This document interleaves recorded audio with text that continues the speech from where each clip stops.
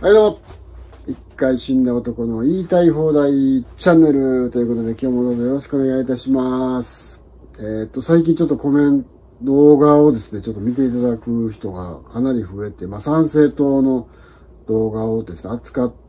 内容をですね、扱ったっていうことが大きいかなと思います。参政党のパワーはすごいな。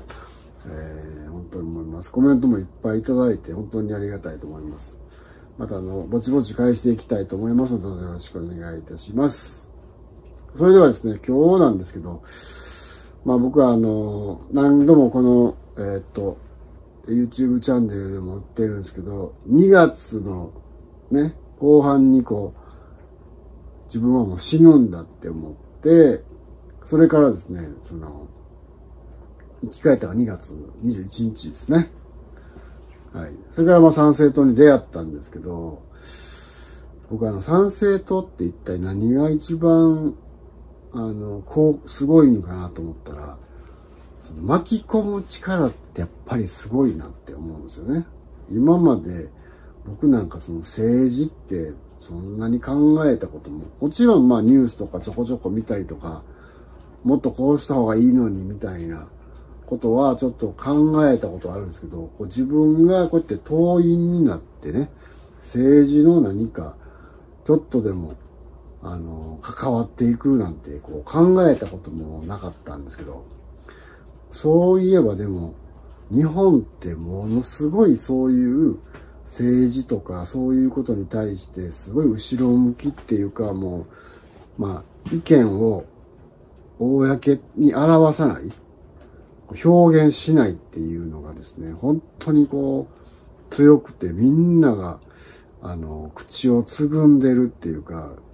意思表示しないのがもう当たり前だみたいなですね、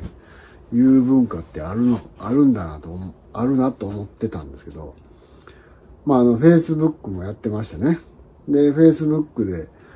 まあいろんな意見を書くじゃないですか。で、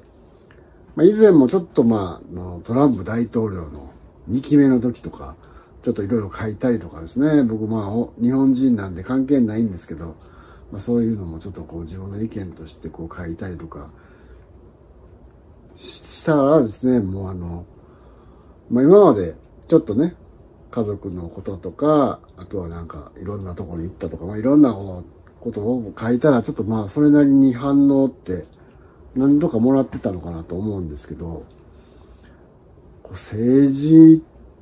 に関わるような内容のことを Facebook で書いた途端にもうシーンとして誰も反応しないっていうか、ね。特にそのコロナのことなんて言おうものならもう、もう本当にもう誰もあの反応しない。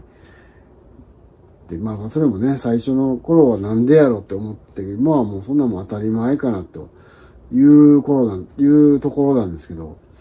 やっぱりでもそれじゃダメだなと思うんですよね。やっぱりみんながそうやって自分の意見、いろんな意見あると思うんで、それをこう、自由にこの発言できるような、そういう環境に、まずはですね、していかないといけないなと、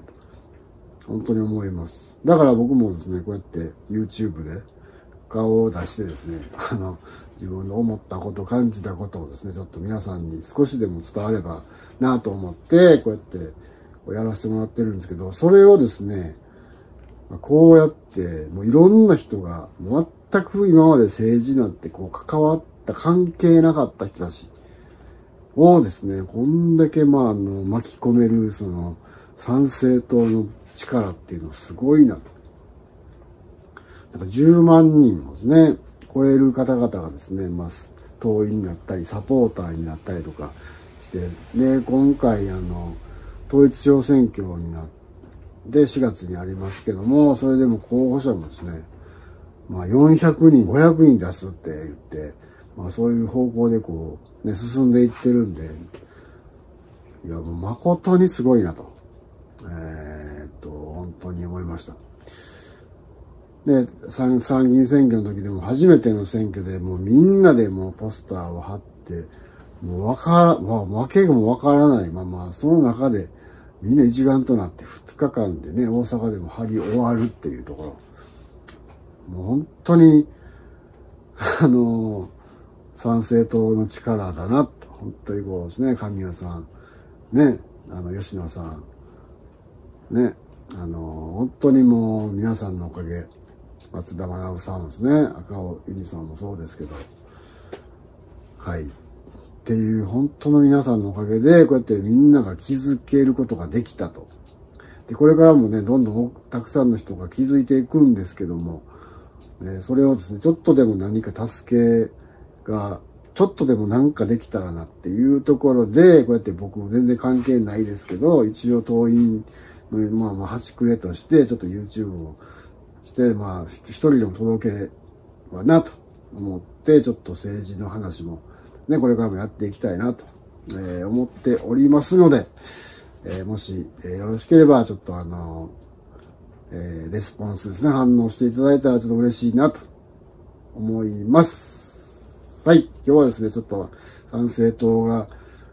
え発生して政治っていうものが身近になったっていう話をですね、ちょっと自分なりにこう噛み砕いてお話しさせていただきました。また今後とも、えー、どんどん発信していきますので、どうぞよろしくお願いいたします。それでは、さよなら。ありがとうございました。